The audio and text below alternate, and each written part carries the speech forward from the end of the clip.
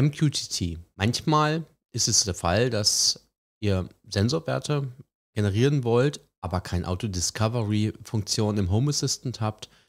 Allerdings ein Add-on oder ein Sensor euch Werte liefert und zwar über MQTT.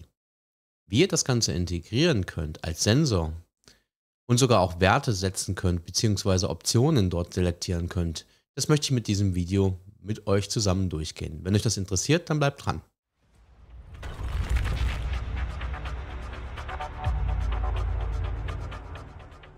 Herzlich willkommen auf meinem Kanal Smart Home and More. Mein Name ist Tobias Lerch und im heutigen Video, wie schon eingangs erwähnt, möchte ich mit euch das Thema MQTT-Sensor und MQTT Select behandeln. MQTT ist ein Protokoll, welches eigentlich häufiger auch von Sensoren verwendet wird, um Telemetriedaten, Temperaturen, Zustände zu übermitteln.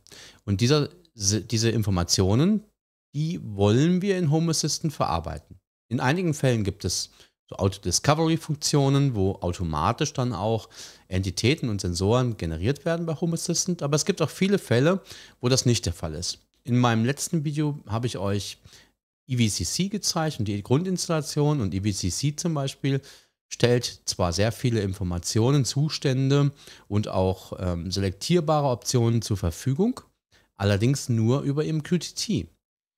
Was brauchen wir jetzt dazu, um das Ganze durchzuführen? Zunächst einmal kann ich euch empfehlen, einen, ein Tool zu verwenden, was es uns erlaubt, diese Messages mitzulesen, um die Topics zu sehen, um unter Umständen Payloads zu sehen, also das, was dort in, in diesen Topics enthalten ist, damit dann wiederum unseren Sensor zu bauen. Weil diese Informationen helfen uns dabei, genau das umzusetzen. Dafür verwende ich ganz gerne das kostenlose Tool MQTT Explorer. Ich werde euch das auch noch verlinken. Und das gibt es sogar als Add-on unter Home Assistant. Das werden wir also als allererstes installieren. Der zweite Schritt ist dann aus diesen Informationen und in Kombination jetzt mit unserem Beispiel EVCC, da könnt ihr natürlich aber auch ganz was anderes verwenden, uns dann ein, zwei Sensoriken, na, wir werden wohl zwei machen, zwei Sensoriken zu erstellen als Beispiel. Mich würde schon interessieren, wenn ihr zum Beispiel das Projekt EVCC verwendet und dann eure eigenen MQTT-Sensoren generiert habt, ja, dann stellt mir die doch gerne zur Verfügung. Ich kann sie dann auch veröffentlichen auf meiner Blogseite ihr müsst es verstehen, jetzt alle Entitäten bzw. alle Messages dort jetzt zu exportieren und zur Verfügung stellen. Da fehlt mir schlichtweg die Zeit zu. Also hier könnt ihr mir jetzt auch ein wenig helfen, weil ich würde, glaube ich, auch viele der Sensoriken verwenden, werde sie mir bestimmt auch nach und nach anlegen. Aber mir geht es jetzt darum, euch zu vermitteln, wie man das überhaupt selber gestalten kann. Dafür brauchen wir als allererstes also dieses Add-on MQTT Explorer. Das finden wir unter GitHub und werden das jetzt gemeinsam installieren. Auf dieser Seite, die ich euch auch verlinken werde, findet ihr die Beschreibung, wie diese Installation vonstatten geht. Wichtig für uns ist es, dass wir diese Adresse, die jetzt hier angegeben ist, uns kopieren, also diesen Link uns kopieren, weil den werden wir jetzt gleich bei Home Assistant und in unserer Home Assistant Instanz benötigen. Als nächstes begeben wir uns zu unserer Home Assistant Instanz. Unter Einstellungen, Add-ons und Add-on Store fügen wir, wenn wir die drei Punkte hier oben andrücken, uns das Repository hinzu, indem wir es mit Ctrl V einfügen, was wir vorhin kopiert haben, sagen hinzufügen und schließen das Ganze. Jetzt kann ich euch empfehlen, den Store einmal, also die Webseite einmal zu aktualisieren und dann nochmal nach MQTT Explorer zu suchen. Also einfach hier oben MQTT einzutippen. Dann taucht alles auf, was damit zu tun hat. Und man sieht hier sofort auch schon den Explorer. Den installieren wir und während er installiert, schauen wir auch nochmal auf die Website von MQTT Explorer.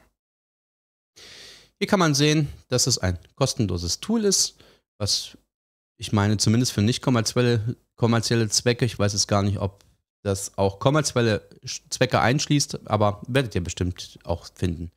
Und ihr seht, es gibt es für Windows, für Mac, für Ubuntu, also Linux im Allgemeinen. Also da gibt es alle Möglichkeiten, das heißt, man kann es unter eigentlich fast allen Plattformen, die es gibt, installieren. Und das ist ein sehr, sehr hilfreiches Tool, weil es erlaubt uns, halt unseren, uns mit unserem Broker zu verbinden und unser MQTT-Broker, den wir haben, der wiederum, der liefert uns dann diese Informationen und kann dann halt visuell hierüber dargestellt werden, sodass wir damit auch arbeiten können. Hier findet ihr also die, wie gesagt, die Installationsfiles dazu, könnt ihr also auch auf einem separaten System euch installieren. Ich habe es unter Home Assistant mir als Add-on installiert, weil ich es einfach sinnvoll finde, weil ich doch häufiger mal nachschauen muss und dann muss ich mir nicht immer die Tools zusammensuchen, sondern habe sie gleich in meiner Oberfläche integriert. Wir können das Tool starten, machen uns aber jetzt in der Seitenleiste zunächst noch die Anzeige, also die Symbolanzeige noch mit hinzu und drücken auf Starten. Damit wir jetzt mit diesem MQTT Explorer arbeiten können, brauchen wir einen Broker. Und dazu gibt es zum Beispiel diesen Mosquito Broker unter Home Assistant. Den werdet ihr aller Wahrscheinlichkeit nach, wenn ihr ähm, Zigbee MQTT installiert habt, schon installiert haben. Oder auch wenn ihr andere Tools habt, die mit MQTT interagieren. Falls nicht, könnt ihr euch diesen hier installieren und dann halt auch ähm, dieses, diesen Broker verwenden, um mit anderen Tools, Tasmoja zum Beispiel, bietet auch die Möglichkeit, direkt über MQTT und ein Autodiscovery an der Stelle mit dem Broker zu kommunizieren. Dann mit der unter Einstellungen Geräte und Dienste mit dem Add-on MQTT. Jetzt habe ich hier mich vertippt. Integration, also es ist keine Einstellung, sondern eine MQTT-Integration. Genau. Da seht ihr jetzt hier schon, sind bei mir ganz viele die Geräte da. Ich habe jetzt nicht den Mosquito Broker unter Home Assistant verwendet, sondern ich verwende ihn in einer separaten virtuellen Maschine. Das macht aber keinen Unterschied. So, jetzt seht ihr hier aber auch, dass wir auf der linken Seite unseren MQTT Explorer haben. Den klicken wir uns an. Und wir müssen jetzt hier an der Stelle unseren Host eingeben. Wenn ihr die Home Assistant Instanz mit dem Broker am Laufen habt, könnt ihr hier einfach dann eure IP-Adresse vom Home Assistant eintragen. Bei mir ist es eine andere. Die Adresse gebe ich jetzt hier ein. Speichere das Ganze. Wenn ihr einen Usernamen und ein Passwort vergeben habt, was normalerweise der Fall sein sollte, dann tragt ihr den hier an der Stelle ein. Ich habe jetzt für das Video extra mal die Passwortfunktion deaktiviert. Auch eine Encryption TLS wäre jetzt hier denkbar und verwendbar. Habe ich jetzt aber in meinem Fall nicht. Wenn ihr das habt, dann könnt ihr das entsprechend hier verwenden. Ihr könnt mir ja mal Kommentare in den Kommentaren hinterlassen, ähm, ob das so bei euch funktioniert. Also ich habe es jetzt selber nicht getestet. Ich weiß aber nur, dass es diese Funktion gibt. So, nachdem wir das also gemacht haben, gehen wir auf Connect.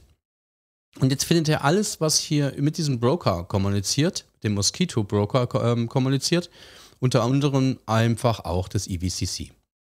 Und das werden wir jetzt als Beispiel nutzen, weil im EVCC haben wir zum Beispiel eine PV-Leistung, die jetzt hier gerade bei 2,2 kW liegt.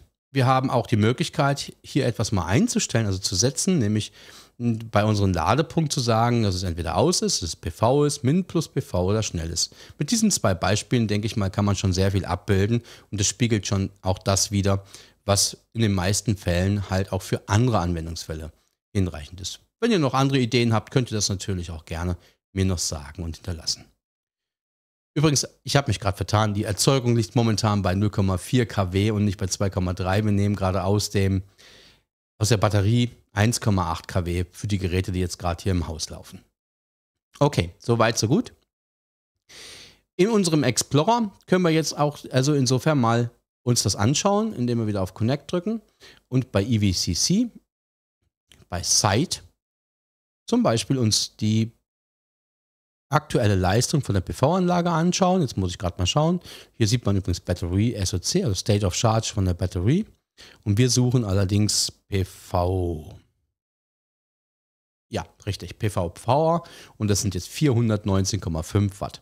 Und die wollen wir uns verfügbar machen. Wenn ihr jetzt da draufklickt, dann seht ihr hier auf der rechten Anzeige eine ähm, Visualisierung auch. Da könnt ihr auf die Historie klicken und seht dann jetzt die Werte, die hier übertragen worden sind. Könnt euch das aber auch im, im Text hier unten nochmal anschauen.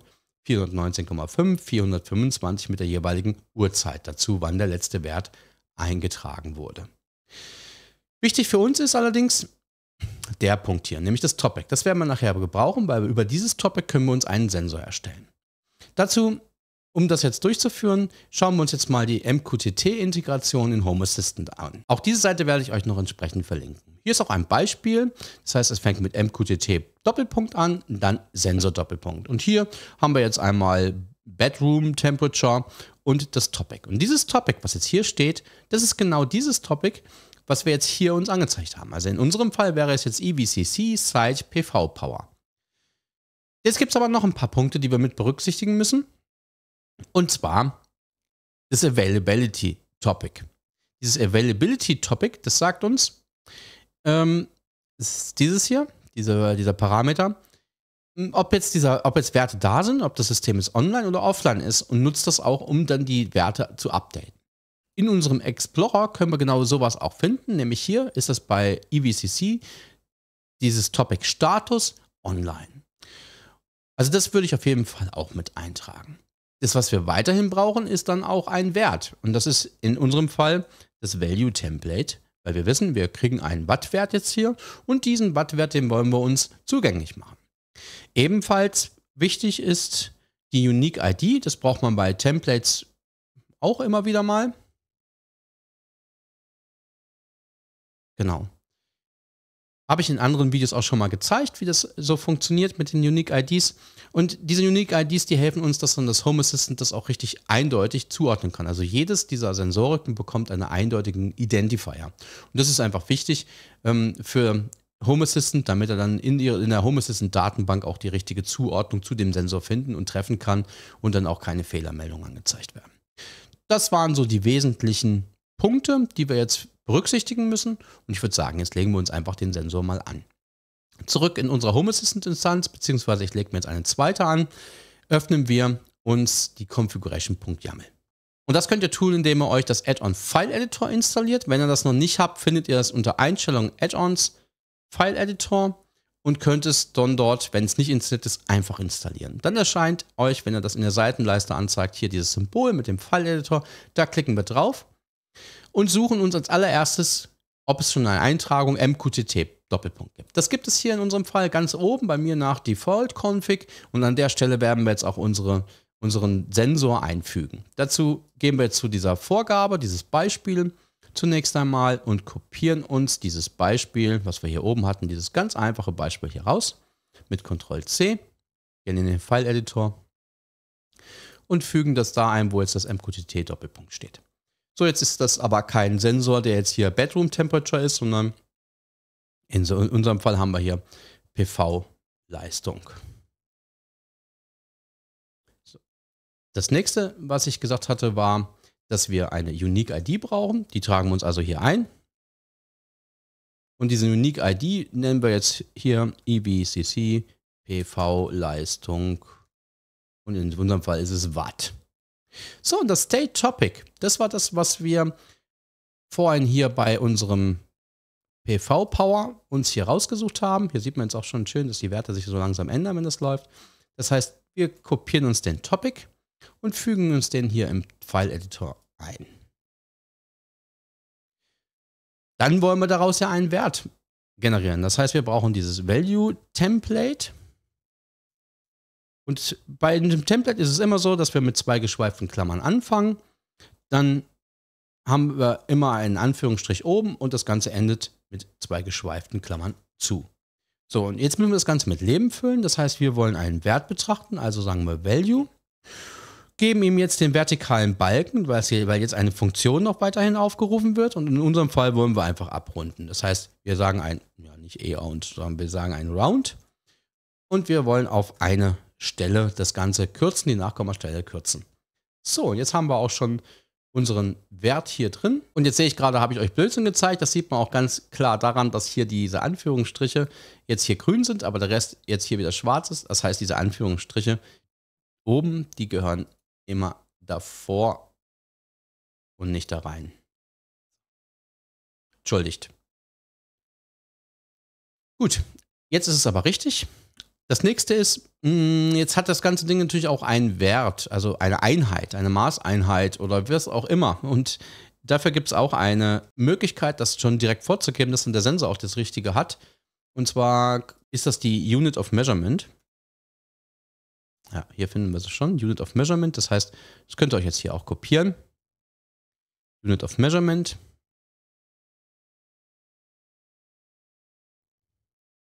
Korrigieren wir das auch gleich wieder, wo gleich zwei Anführungsstriche waren. Unit of Measurement ist in unserem Fall jetzt Watt. Dann hatte ich noch gesagt, dieses Availability Topic, das brauchen wir auch. Das heißt Availability Topic, das wieder in Anführungsstrichen, kopieren wir uns hier wieder raus und zwar unter Status. Und hier ist es, ist das Topic, was wir uns betrachten wollen. Und fügen das hier ein. So, jetzt sollten wir eigentlich schon alles soweit haben. Wir speichern das jetzt hier ab. Es ist erstmal grün, was schon mal ein ganz gutes Zeichen ist. Gehen unter die Entwicklungswerkzeuge und sagen ihm, alle YAML-Konfigurationen neu laden. Wenn alles neu geladen ist, können wir unter Einstellungen gehen und jetzt ja, ich gehe nochmal kurz zurück in den ähm, File-Editor. Wir haben das jetzt PV-Leistung genannt, also suchen wir jetzt nach dem Sensor PV-Leistung unter Einstellungen, Geräte und Dienste, Entitäten und PV-Leistung. Da ist es schon. Drücken da drauf und sehen jetzt hier 432,4 Watt, was eigentlich auch dementsprechend sollte, was wir hier im EVCC sehen. 0,4 ähm, zeigt jetzt hier an in kW und wir haben das Ganze jetzt halt in Watt, also 400 und noch was Watt wird richtig angezeigt. Wenn euch das Video gefällt, würde ich mich sehr freuen darüber, wenn ihr mir einen Daumen hoch geben könntet und vielleicht aber auch den Kanal abonnieren würdet. Und jetzt gehen wir weiter. Jetzt wollen wir uns noch beim Ladepunkt die Möglichkeit ermöglichen, etwas zu setzen, also ein Topic zu beschreiben. Da gehen wir genauso vor, aber wir brauchen jetzt eine andere Funktion. Wir haben jetzt die Funktion ähm, MQTT-Sensor verwendet. Und was wir jetzt brauchen, ist eine Integration, nämlich die Integration, nicht Funktion, Integration MQTT-Select. Und mit dieser Integration MQTT-Select, das werde ich euch ebenfalls verlinken, haben wir die Möglichkeit, ein Topic zu selektieren zwischen Optionen, die vorgegeben sind. Und wir haben jetzt ja die Optionen gehabt beim EVCC aus, PV, Min plus PV und schnell. Das kann man sich jetzt hier auch im Explorer mal anschauen, indem wir zu dem Load Point gehen. Und da gibt es Mode ist jetzt hier in dem Fall off. Und jetzt kann ich euch einfach nur raten, mm, jetzt schaltet einfach mal hier hin und her, dann haben wir auch gleich die Optionen, wie die richtig geschrieben sind. Jetzt steht hier PV. Wenn ich jetzt auf Min plus PV gehe, steht hier Min PV. Und wenn ich auf Schnell gehe, steht hier Now. So, und genau diesen Mode, den wollen wir jetzt setzen. Das heißt, wir kopieren uns hier wieder einmal diesen, diesen Sensor hier raus. Hier ist übrigens ein Fehler in dieser Beschreibung, glaube ich, weil dieses ähm, Anführungsstrich, das ist inkorrekt. Also kopiert euch das bitte ohne, ohne diesen Bindestrich, sondern einfach nur so, wie ich es jetzt hier gemacht habe. So, wir gehen zurück zu unserem, zu unserer Instanz hier von Jetzt muss ich aber schnell wieder erstmal noch eins kurz ändern, sonst fängt mein Auto jetzt an zu laden. Das möchte ich jetzt gerade nicht. Äh, schalte es wieder auf aus. So, gut. Jetzt zurück zum File Explorer, also File Editor. Und jetzt gehen wir hier drunter und fügen uns hier unten drunter das ein, was wir uns kopiert haben, das Select und müssen das jetzt allerdings noch ein wenig einrücken, damit es auch richtig ist. Ist zwar unter, wie unter Sensor Doppelpunkt sollte es stehen. So, so sieht es gut aus. Dann haben wir ähm, einen Namen, das ist jetzt hier und das nennen wir jetzt Modus oder Charge Mode von mir aus. Wir vergeben uns wieder eine Unique ID. Und diese in unserem Fall hm, würde ich sagen EVCC Charge Mode Select. Da könnt ihr also einen beliebigen Namen verwenden. Als nächstes brauchen wir jetzt wieder den Topic von dem Mode. Das ist das hier. Kopieren uns diesen Topic und gehen wieder zurück zu unserem File-Editor und ergänzen jetzt hier bei Command Topic in Anführungsstrichen uns den Topic, den wir uns kopiert haben. Und wichtig ist, bei dem Command Topic kommt jetzt die Set-Funktion, also slash set hinten dran. Damit sagen wir ihm jetzt, okay, hier gibt es etwas zu verändern, also eine Option zu setzen. Welche das sein werden, das werden wir gleich definieren. So, weiterhin brauchen wir dann aber auch den State Topic und das ist genau der gleiche, den wir uns gerade kopiert haben, allerdings ohne Set. Und tragen uns nun als letztes hier die ganzen Optionen ein. Und zwar zunächst einmal haben wir die Option Off gehabt, dann haben wir die Option Now war das, glaube ich, gewesen. Als nächstes fügen wir einfach mit dem Enter die nächste Zeile ein und sagen jetzt MinPV, das war nämlich die dritte Option, die wir uns vorhin haben anzeigen lassen. Und als vierte Option gab es noch PV. Das muss ich gerade selber nochmal schauen. Im IBCC, also wir haben aus, wir haben PV, ja, wir haben Min plus PV, Min PV und wir haben schnell. Schnell ist Now, genau. Also, damit haben wir eigentlich alle Optionen, alle vier abgedeckt und können jetzt unseren Sensor wieder speichern, unsere Configuration.yaml speichern, gehen auf die Entwicklerwerkzeuge, sagen alle YAML-Konfigurationen neu laden.